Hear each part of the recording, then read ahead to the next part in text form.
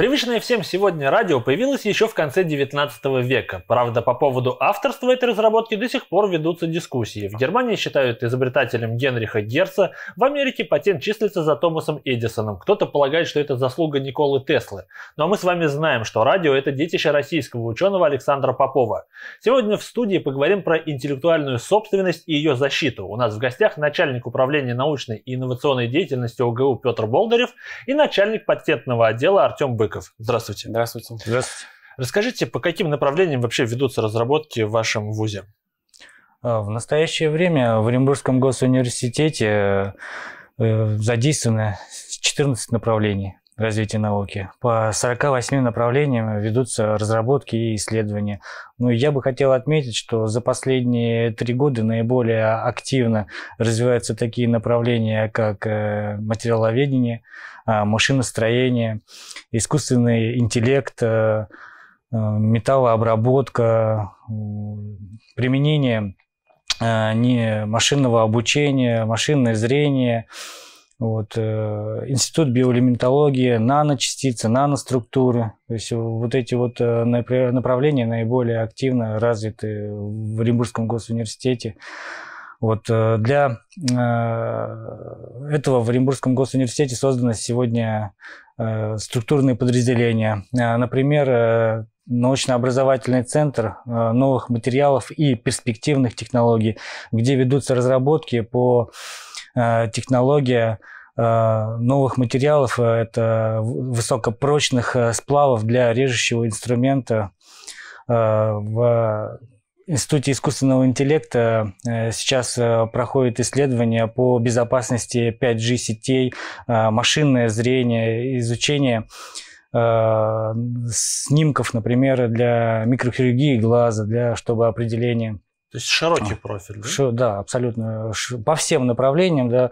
Э, поэтому здесь и гуманитарные науки, конечно же, присутствуют э, вот в полном объеме. В обывательском сознании нанотехнологии, IT-сфера – это больше такая теоретическая зона. Вот насколько разработки, которые ведутся в ВУЗе, э, применяются на практике, имеют практическую ну, да, конечно же, и фундаментальные исследования, и прикладные исследования. Например, Э, ранее названные НОЦ новых материалов перспективных технологий, они э, разрабатывают технологии для производственного объединения «Стрела». То есть э, та задача, которая стоит в решении задачи создания сверхтвердого сплава для режущего инструмента, конкретная задача, она решается специалистами этого НОЦа. То есть новый режущий инструмент, это значит, раньше такого сплава не придумано?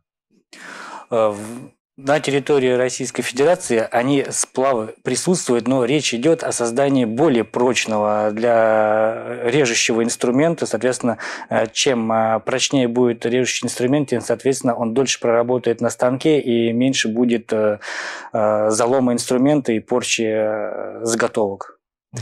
Также можно привести пример в КБ машиностроения Оренбургского госуниверситета был разработан прототип мобильного станка. Э, такой установки в России еще нет. Э, этот станок используется для крупногабаритных деталей, которые невозможно перемещать с производства в цех. А, соответственно, станок разрабатывался с той целью, чтобы устанавливать непосредственно на деталь, например, на запорные арматуры и обрабатывать внутренние отверстия. Я, кстати, не зря начал разговор про радио. А если вы создаете что-то действительно новое, вы это патентуете? Сколько у вуза патентов? На сегодняшний день э, университет ежегодно получает около 30 патентов на изобретение полезной модели. И в последнее время, так как развивается век информатизации, да, цифровизации, мы увеличили количество разработок в области программных комплексов для ЭВМ. А, тоже у нас по достаточно широкому профилю патентуются изобретения от медицинских каких-то способов, устройств и так далее. Также и для машиностроения, и для других отраслей э, производства Российской Федерации.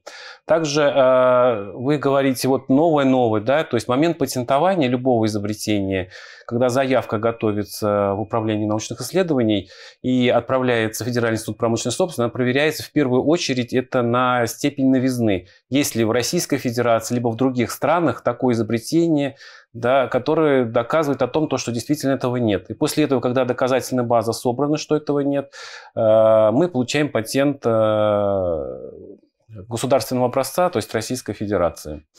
А, также вот э, что касается распространения, э, то есть широкого профиля применения изобретений, ну, яркими такими представителями являются изобретения в области машиностроения. Это способ получения различных сталей, это устройство в виде станков, как Петр Алексеевич подметил. Также разработка, последняя разработка наших дизайнеров а, в области медицины, да, вот не связанный дизайнер медицины, то есть это разработана игра а, для лечения людей а, последствий после инсультных последствий, то есть которые восстанавливаются. Сейчас происходит процесс патентования и уже налаживаются контакты с медицинскими учреждениями Оренбургской области для внедрения данных изобретений. Эффект Доказано уже, что он Эффект, есть положительный. Эффект доказан как нашими учеными, так и медицинскими работниками Оренбургской области. То есть такой создан э, как бы небольшой кампус да, э, медицины, дизайнеров, э, студентов-дизайнеров, которые в симбиозе создали такой инновационный продукт. Когда в обывательском сознании речь идет о патенте, если человек что-то изобрел, придумал, запатентовал, он с этого должен зарабатывать. Вот ВУЗ может зарабатывать со своих патентов? Это проблема а, зарабатывания денег на интеллектуальной собственности очень как бы такая глобальная для всех вузов э, Российской Федерации. У нас пока существует прогал между изобретателями, учеными, да, и непосредственными производственниками. Сейчас а, у нас а, немножко происходит перетрансформация в области коммерциализации, и мы пытаемся сейчас а, разрабатывать изобретения по заказу а, определенных предприятий, да, чтобы потом можно было их внедрить. А, до недавнего времени изобретения использовались а, разработки для а, получения степени степени, доценства, да, защита диссертаций, и немножко отдалялись предприятия. Теперь век, когда мы должны получать свои продукты да, российского производства, мы ориентируемся на запросы предприятий, как э, Оренбургской области, так и по России в целом. Даже вот самый банальный случай, да, э, анекдотичный, да, то, что э, бумага, когда исчезла белая, да, то есть оказалось, что в Российской Федерации нет отбеливающих веществ для бумаги. Поэтому ученые сразу начали разрабатывать, да, то есть как наши ученые, так и другие ученые, и стали появляться новые отбеливающие вещества для производства белой бумаги. То есть мы э, занимаемся э, изобретениями для того, чтобы... А производители привлечь... бумаги сразу пришли и сказали, дайте нам эту разработку. Ну, не в Оренбургский, конечно, у нас университет, да, то есть другие университеты, но потребность такая есть. Ну, это как один из примеров таких, да, может быть. То есть, по сути, крупная компания, вот как если мы говорили про сплав для резки станков, приходит и говорит, мы хотим э, резать условный титан. Нам mm-hmm. нужен нож, который будет это делать. Вы его разрабатываете, и уже тогда технологии, компания его внедряет. Технологии изготовления этого сплава разрабатываем и передаем. Ну вот что интересного да, в нашем университете проводится. У нас есть научно-технический совет, куда были приглашены и введены сотрудники крупных предприятий Оренбургской области, которые могут послушать, что делается в университете и э, сказать, что им нужно.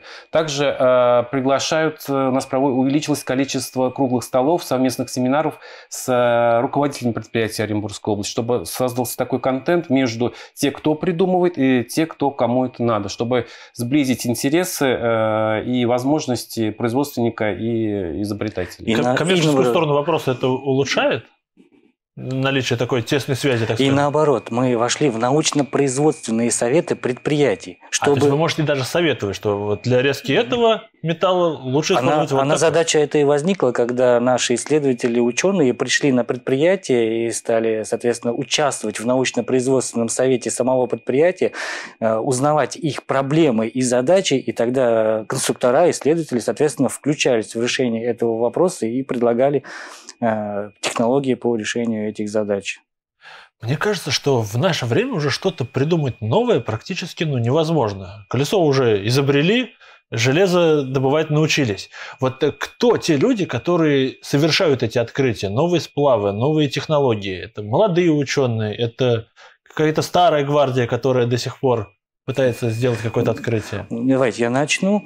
Э, студенческие конструкторские бюро, то есть э, университет поставил задачу, чтобы студентов уже сразу, начиная с первых курсов, вовлечь в исследовательскую и конструкторскую работу. Соответственно, с этой целью были, было создано э, более 15 студенческих конструкторских бюро в университете, э, которые уже реально получают задачи от предприятий региона и, соответственно, пытаются их решить. Где-то успешно, где-то нет. Но при этом Оренбургский госуниверситет наиболее успешные проекты софинансирует в целью того, чтобы все-таки довести задачу получить э, конечный продукт.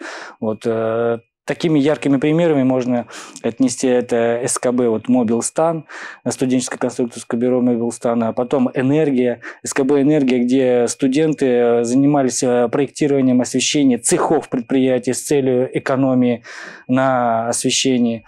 Далее яркий пример СКБ навигатор. Э, это, соответственно, геолог, э, институты Института наук о Земле студенты выезжали на отвалы, то есть отвалы, которые уже не используются, они изучали состав, структуру, соответственно, повторное или вторичное использование найденных там элементов железа и так далее. То есть научное открытие это не обязательно какое-то революционное изменение мира. Это может быть и небольшой камушек, который просто сделает жизнь более комфортной, более доступной. Правильно я понимаю? Ну, да, смотрите, тут хочу немножко в ясность внести. То есть открытие и изобретение – это совершенно разные явления. Да?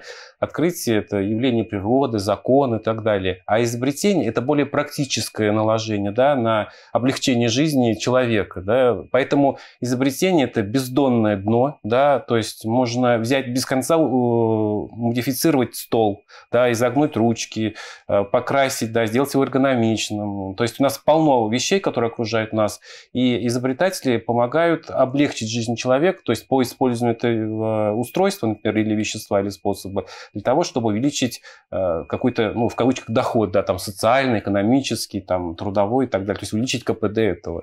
То есть это Прибор безгранично, да.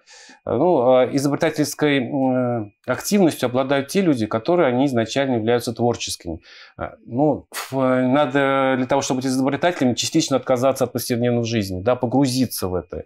А, То есть наших... вовлеченность должна быть прям капитальная. Да, капитальная увлеченность. И для этого в университете тоже создано огромное количество у нас условий, да, где ученые не только могут а, в лаборатории сидеть, но если неформальные да, аудитории, где они могут обсудить какие-то проблемы, да, выявить какие-то недочеты и э, планировать что-то дальше делать.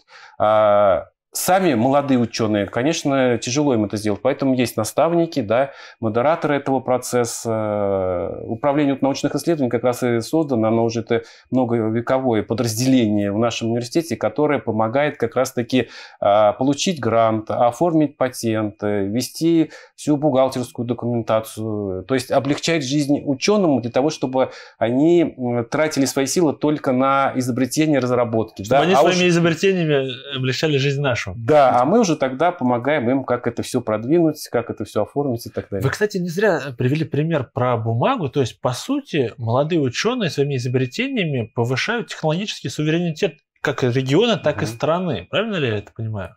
Да, абсолютно верно. Это одна из тех приоритетных задач, э, которые решаются в Российской Федерации. И э, вопрос, э, например, решаемый конструкторским бюро машиностроения, реинжиниринг деталей, да, тех деталей, которые э, не выпускались в Российской Федерации, но они необходимы. Э, соответственно, ре реинжиниринг – это создание конкурсной документации на ту или иную деталь. Э, например, сейчас вот, э, вот в этом году совместно с КБ машиностроения и КБ э, электропривод а, создается, ну, в Оренбургском госуниверситете создается конструкторская документация на создание электродвигателей для квадрокоптеров. Вот, э, задача актуальная, нужная, поэтому э, это один, да, пусть он небольшой, но шаг в достижении технологического суверенитета. И вот таких вот примеров можно множество приводить, да, когда есть э, зачатки, есть Э, задачи, и, соответственно, объединяясь э, несколько КБ, объединяются и их решают. Знаете, мне за последние годы стало известно ну, несколько необычных историй. Вот, например, что у нас э, не было так широко распространено отбеливание бумаги, угу. проблемы каких-то электросхем.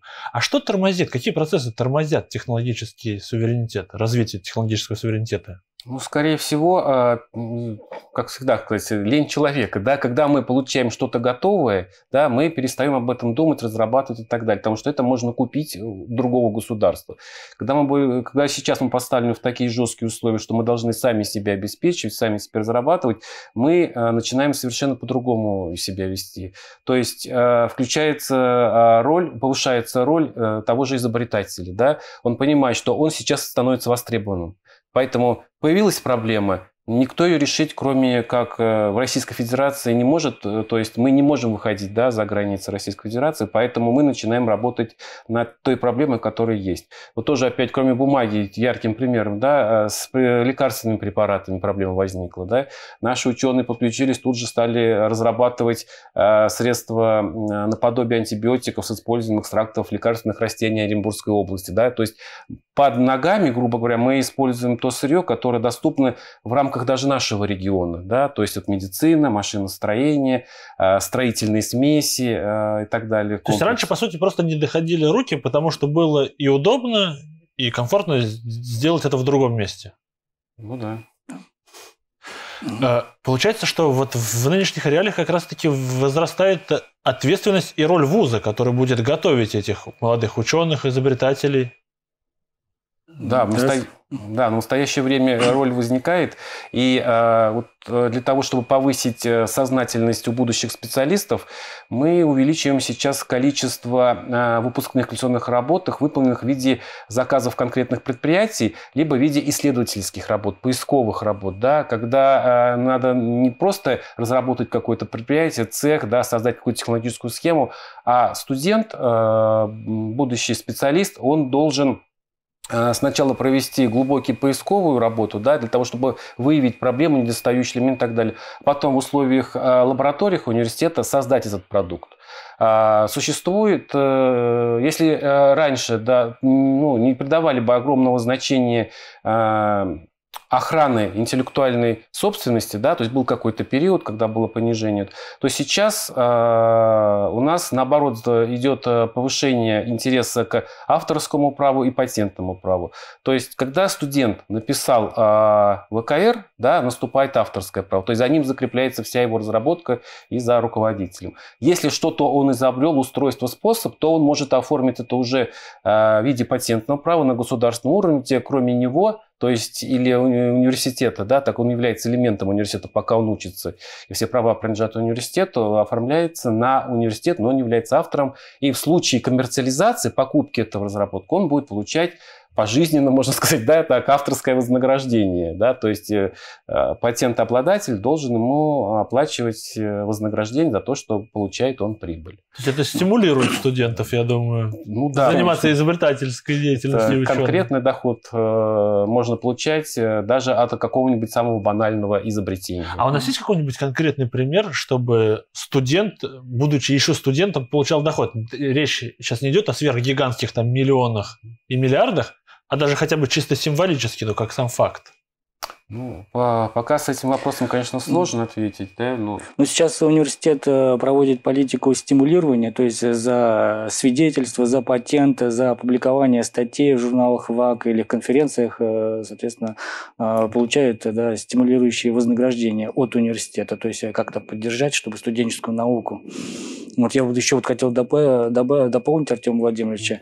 Университет сейчас становится центром трансфера технологий. Да, когда технологии не только да, рождаются в университете, но и также, возможно, технологии за пределами университета рождаются, но возможность передачи этих технологий другим предприятиям и организациям тоже одна из важных задач. Э, сейчас в полном объеме университет решает задачу э, создания правовых охранных документов на патента, ну и начинаем осваивать э, шаги или этапы по э, трансферу этих технологий, коммерциализации этих продуктов. Это важный, важный шаг, который позволит достичь технологического суверенитета в Российской Федерации.